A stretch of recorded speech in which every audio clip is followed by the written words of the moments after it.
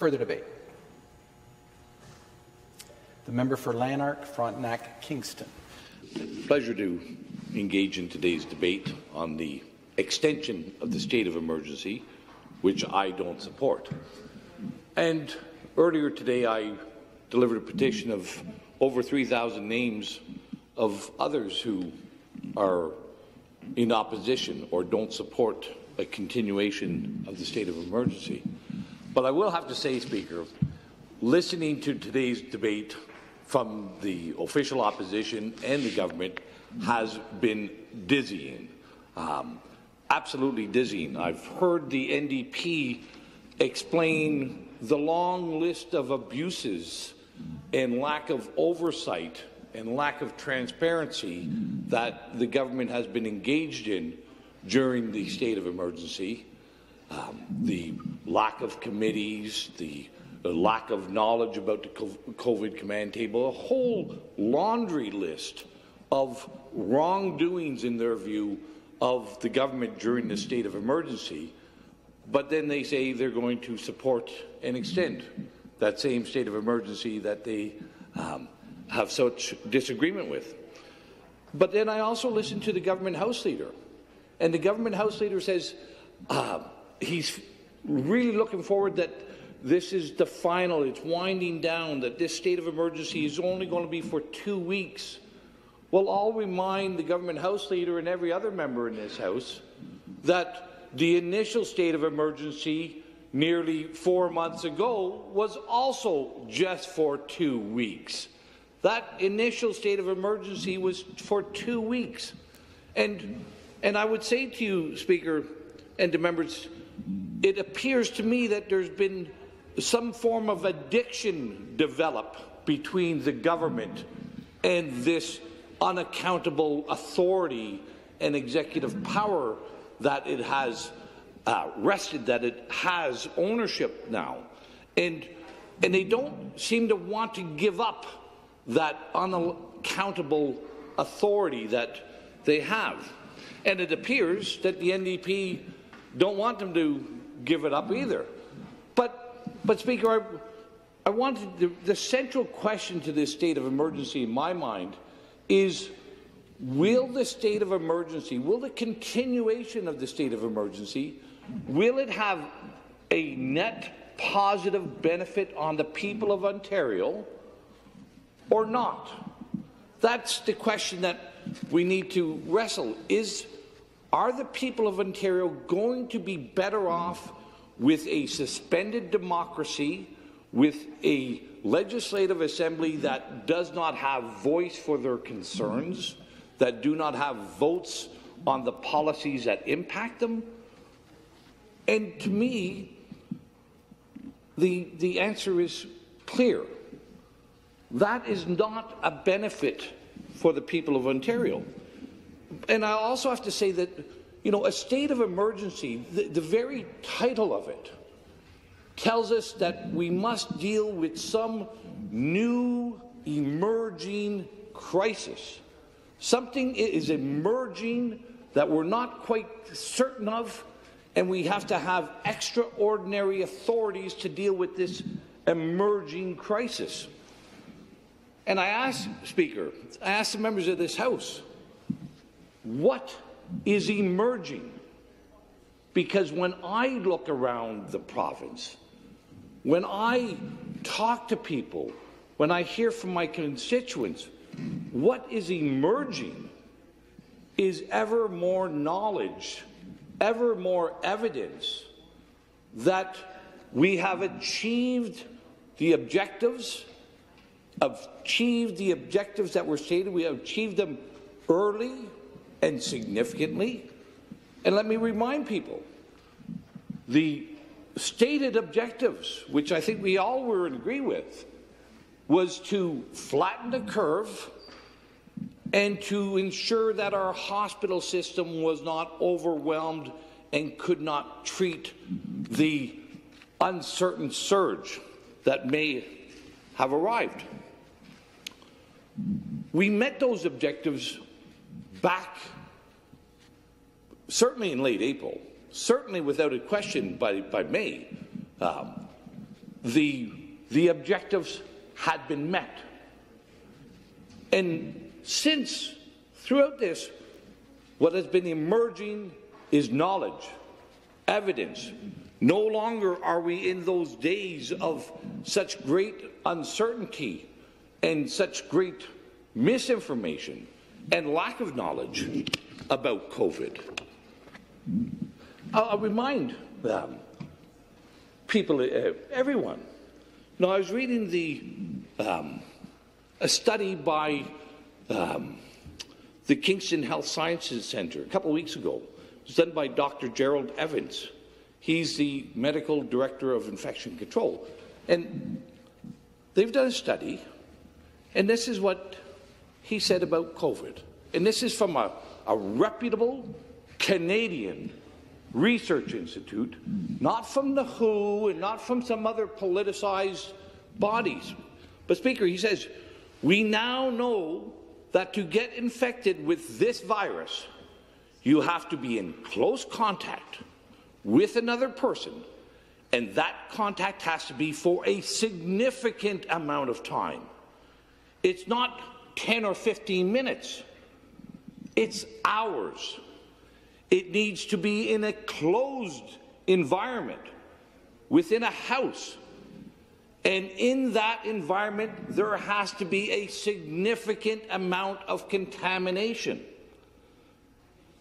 Speaker, we, the same information was released by the University of British Columbia, their health sciences center as well. Um, you know, so we're, we're learning more. We know how to deal with this virus in a much greater, um, with much greater awareness. Um, and of course, he goes on in this another home-like setting where COVID-19 can spread like wildfire is long-term care facilities and retirement homes. And we know that to be true as well. The tragedy in long-term care, the decisions made by this government during this crisis on long-term care, I think when they're measured, when they're counted, they will, they will not look good. Bad decisions were made, decisions that compounded and amplified that tragedy in long-term care.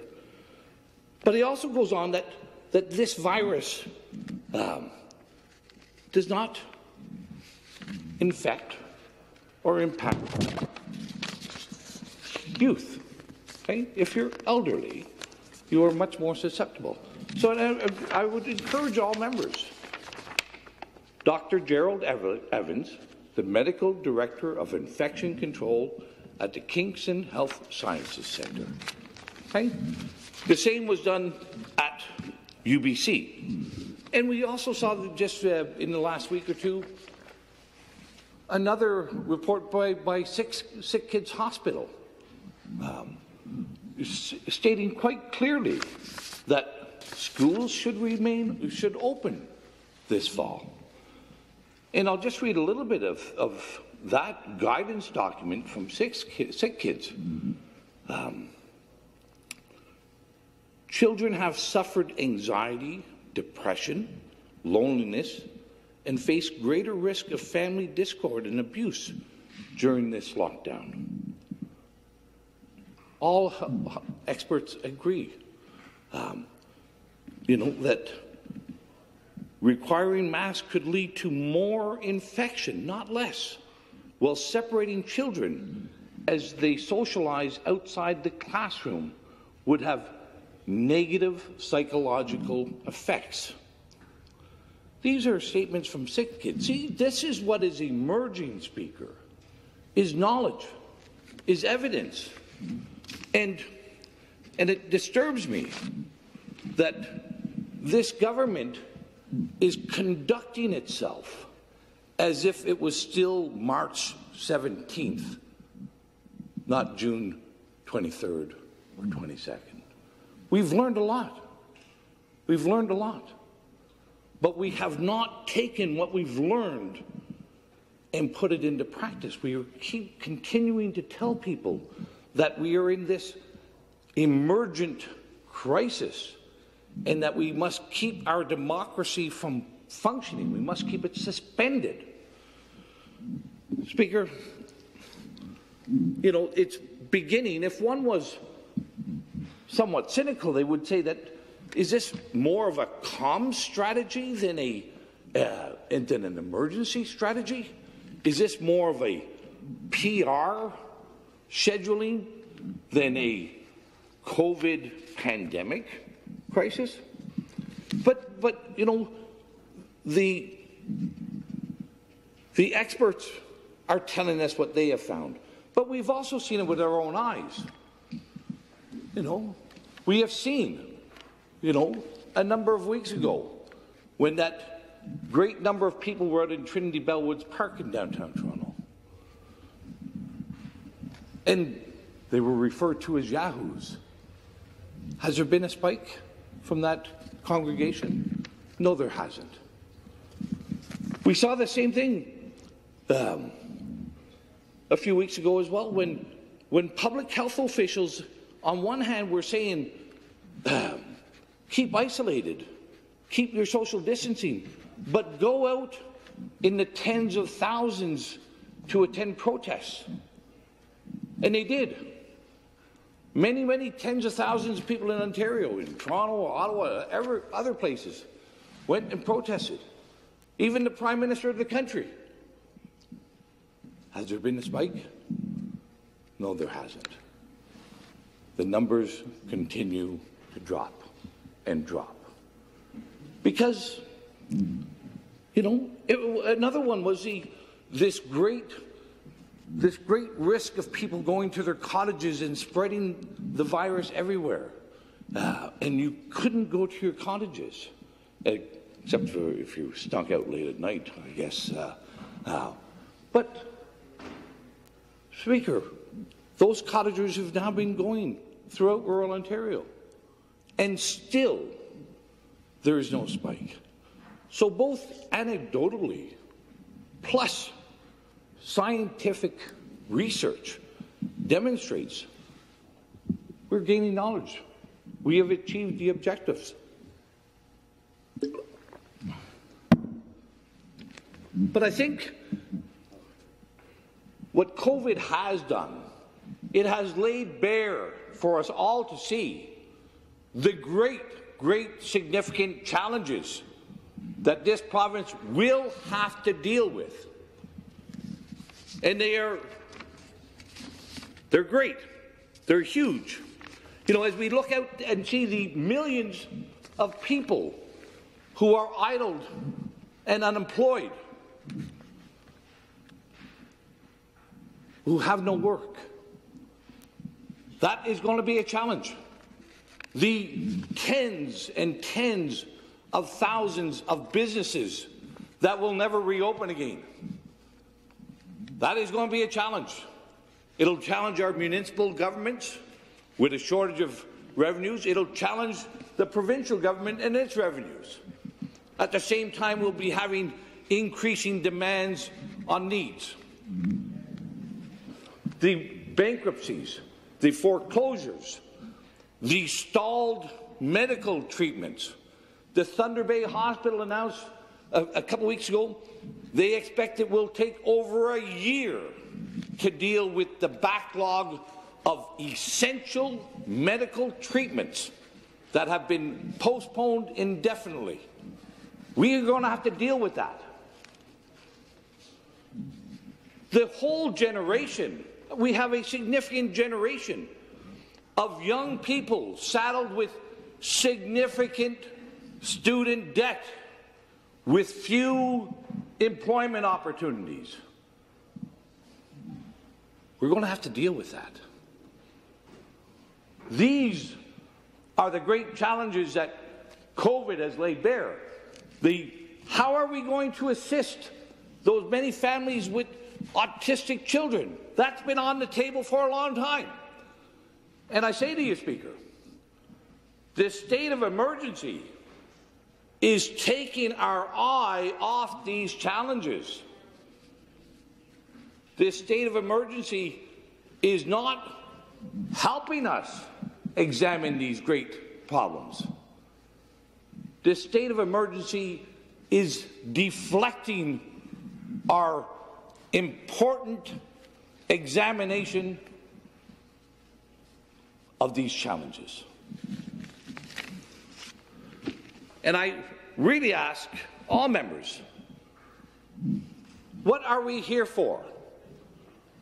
Are we here to represent our constituents, to give voice to their concerns, to be advocates against injustice that they may face? Or are we here for others to do the bidding of others? Are we here? Are we pieces of furniture? Or are we advocates for our constituents? I know where I stand. A state of emergency limits, precludes, and frustrates every member in this House from discharging their responsibilities. And Speaker, once again, we have this COVID command table who we don't know who they are, making the decisions. The Premier refuses to release who's there. We don't know the, there's no transparency. There's no accountability. But they want to continue with this. I brought this up in the last motion. I'm going to bring it up again. Others have also spoken about it with the NDP. And I move that this motion be amended by adding the following to the end. And that during this extension, the work product of the Ontario COVID-19 command table, including agendas, minutes, and communications, and excluding correspondence that is protected by cabinet confidentiality, be made available to the public in a timely fashion with a compendium of this disclosure tabled with the House on a weekly basis. That the initial disclosure be of any and all existing work product, and that each Monday shall be tabled the compendium from the preceding work. Thank you, Speaker. Mr. Hillier has moved an amendment to the motion that we're debating.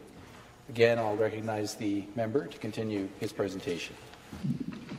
Thank you, Speaker. I'll, I'll wrap up here. The, I, I, do hope all members consider my perspectives, the perspectives that I'm sharing that I know others have as well, um, and perspectives of, of this House and perspectives of what comes next. Right? Because we do have, we have huge problems. If we thought the problems that we've had in the last four months were big, consider, consider the hurt, the harm, the consequences that are out there. And I, and I think the better and the sooner we start examining these things with honesty and with forthrightness, the better Ontario will be, the better this Legislative Assembly will be.